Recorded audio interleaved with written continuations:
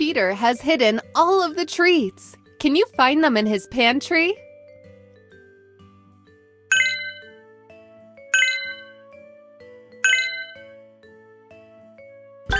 Wonderful!